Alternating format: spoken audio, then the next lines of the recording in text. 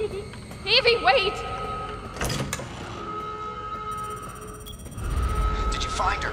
Yes, but she ran off. She's making more friends, Alan. Those things are everywhere. I told you so. Are you okay? you just worry about getting